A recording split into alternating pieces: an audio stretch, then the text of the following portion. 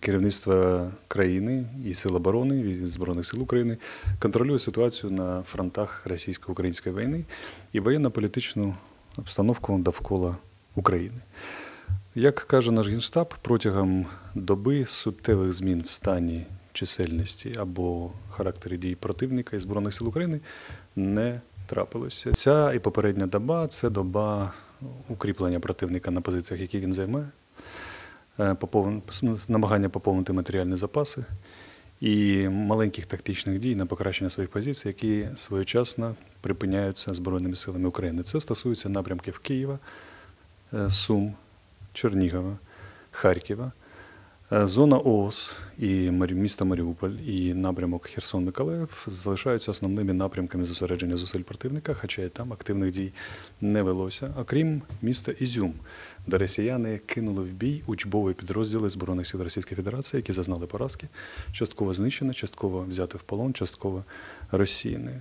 Я хочу вам зазначити, що в військовій історії, воєнної, воєнній справі, коли кидають курсантів на основні напрямки да, молодших, школи молодших спеціалістів, це взагалі-то означає майже розгром.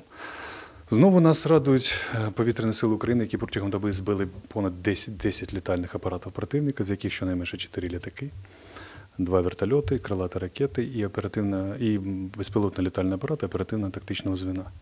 І хочу вас повідомити, що аеродром аеродром в Чернобаївці, це Херсонська область, який росіяни використовують під свій командний пункт і місце збору літаків, знову порадував нас результатом.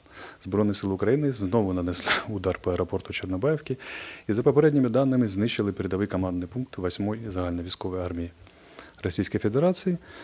Е, Південного військового округу Російської Федерації це якраз напрямок, який відповідав за ОРДЛО, створення і постачання збройних сил так званих ЛНР ДНР, які насправді були частиною воєнної машини Російської Федерації і зараз гинуть у зіткненнях з нашими воєнними на сході України. За попередніми даними, командувач цієї армії загинув.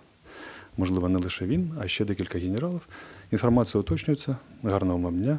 Слідкуйте за нашими повідомленнями.